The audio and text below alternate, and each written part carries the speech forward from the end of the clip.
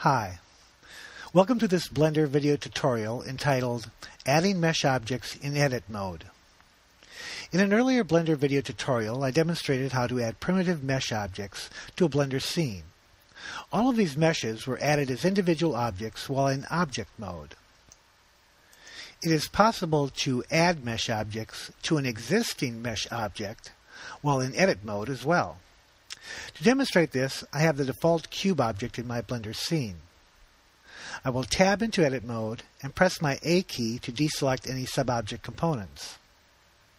I will go to front orthographic view, numpad 1, and place my 3D cursor to the side of the cube mesh, which is now in edit mode.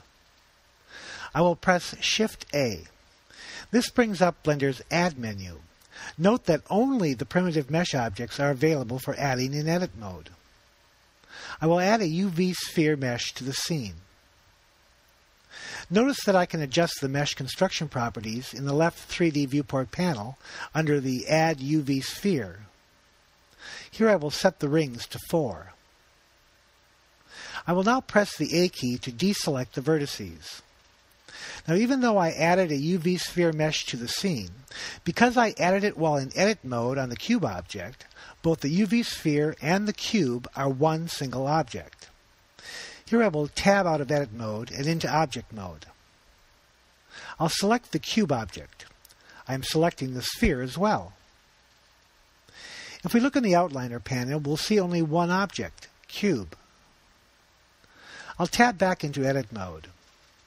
I can B key or box select the UV sphere's vertices and move, rotate, or scale them. Here I will place the sphere inside of the cube partially. I will then select the lower vertices on the sphere and press my X key and delete them. I'll now tab back into object mode and rotate my view a bit to a more dimensional user view.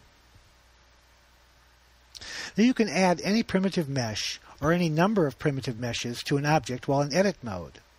Adding a mesh to an existing mesh in edit mode is one of the many modeling strategies available in Blender.